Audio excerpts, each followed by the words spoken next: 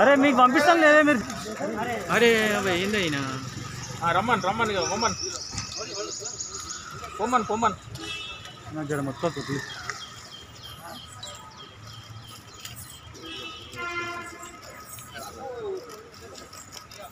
వెంటనే గిరిజనులపై దాడి చేసినటువంటి అటవీ శాఖ అధికారులు సర్వీస్ నుంచి రిమూవ్ చేయాలి. వెంటనే సర్వీస్ నుంచి రిమూవ్ చేయాలి.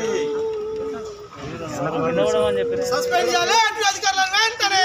సస్పెండ్ చేయాలి సస్పెండ్ చేయాలి. జరు జరు వాళ్ళు ఓని వాళ్ళు ఓని. అన్న వాళ్ళు ఓని వాళ్ళు ఓని. చేయండి చేయండి.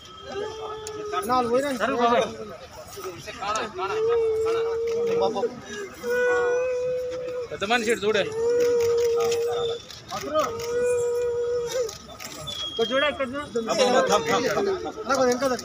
చోట్ల నడవనికే వస్తలేదు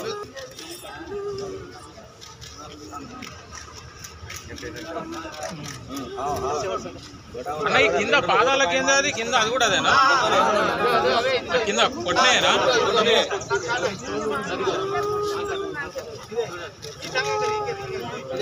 बेचो हेड हेड बेचो बेचो हेड बेचो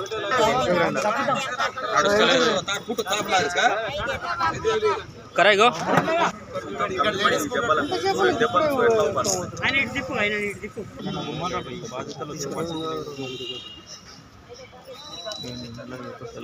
कराय गो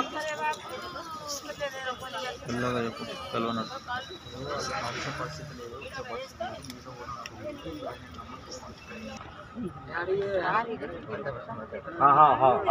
చోట్ల ఈ డబ్బల్ ఇక్కడ చూడండి చూడండి దెబ్బలు ఎట్లా ఉన్నాయి ఓకేనా అన్న?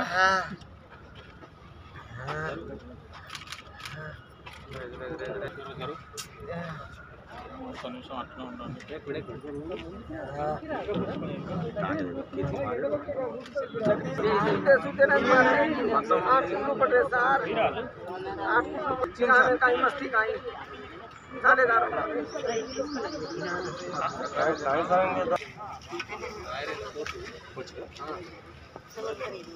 ఫారెస్ట్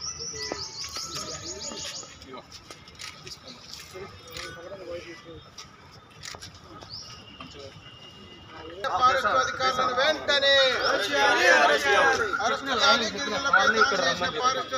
వెంటనే విషయాన్ని మేము పూర్తిగా ఖండిస్తున్నాం. అంటే ఇలా ఏదైతే వన్ బై సెవెంటీ చట్టం కావచ్చు అటువైపు చట్టాన్ని తెలంగాణ రాష్ట్ర ప్రభుత్వం అమలు చేయకుండా ఏదైతే మమ్మల్ని అడవి నుంచి ఎలగొట్టాలి గిరిజనులు అని చెప్పేసి మా పైన రాష్ట్ర ముఖ్యమంత్రి చంద్రశేఖర్ రావు గారు గిరిజన శాఖ మంత్రి సత్యవతి రాథోడ్ కంకణబద్ద మమ్మల్ని ఈ విధంగా మామూలు కొట్టడం జరిగింది. కాబట్టి ఏదైతే ఫారెస్ట్ అధికారులతో పాటు ఈ రాష్ట్ర ముఖ్యమంత్రి కూడా బాధ్యత వహించాలి గిరిజన శాఖ మంత్రి సత్యవతి రాథోడ్ బాధ్యత వహించి ఈ కుటుంబాలకి ఆదుకోవాల్సిన అవసరం ఉన్నది. ఎవరైతే వీళ్ళ మీద దాడి చేసినట్టు అధికారులు ఎవరైతే ఉన్నారో ఫారెస్ట్ అధికారులని రాష్ట్ర స్థాయి నుంచి కింది స్థాయి వరకు అధికారులను సర్వీస్ నుంచి రిమూవ్ చేయాలని చెప్పేసి మేము డిమాండ్ చేస్తున్నాం. ఒకవేళ చేయకపోతే ఈ బాధితుల పక్షాన రాష్ట్ర ముఖ్యమంత్రి ప్రగతి భవనాన్ని ముట్టడిస్తాం. సత్యావతి రాతోని తిరిగనీయం. అరే గువ్వల బాలరాజ్ నీ గువ్వ ఉందా నేను అడుగుతున్నా. వాడు గిరిజన ఓట్లతో గెలిచినటువంటి ముండాగోడుకు గువ్వల బాలరాజు వాళ్ళ అసెంబ్లీలో ఆయన ఓటర్స్ వాళ్ళు వాళ్ళ మీద దాడి జరిగితే తూతూ మంత్రంగా పోయి హాస్పిటల్లో పరామర్శించడం కాదురా. వాళ్ళ పక్షంగా ఉండు గువ్వల బాలరాజ్. వాళ్ళ వైపు నుంచి నువ్వు రాష్ట్ర ముఖ్యమంత్రి దృష్టి తీసుకోపోయి వాళ్ళకి న్యాయం చేయవలసింది పోయి నువ్వు ఇలా చేతులు దులుపుకోవడం సబబ్ కాదు బిడ్డ. నిన్ను ఖచ్చితంగా గువ్వల బాలరాజ్ మా లంబాడి ప్రజలను చైతన్యం చేసి నీ ఇలాకలలో నిన్ను ఓడించడం ఖాయం. నీ అంతు చూస్తాం గువ్వల బాలరాజ్ కబర్దాన్ అని చెప్పేసి టిఆర్ఎస్ పార్టీ నాయకులతో పాటు ఫారెస్ట్ అధికారులను బెదిరిస్తున్నాం. వాళ్ళ అంతు చూస్తాం. ఏదైతే మా గిరిజనుల మీద దాడి జరిగిందో దాన్ని ప్రతికారానికి ప్రతికారంగా తీర్చుకుంటాం బిడ్డ అని చెప్పేసి ఫారెస్ట్ అధికారులకు హెచ్చరిస్తున్నాం. తారీఖు నాడు నాగర్ కర్నూలు జిల్లా చెంచుపలుగు తండాలో లంబాడి గిరిజనుల పైన జరిగినటువంటి పాశవిక దాడిని మేము మొన్ననే హెచ్ఆర్సి చైర్మన్ గారికి కంప్లైంట్ చేయడం అనేది జరిగింది. మాట్లాడుతున్నాను జరిగింది.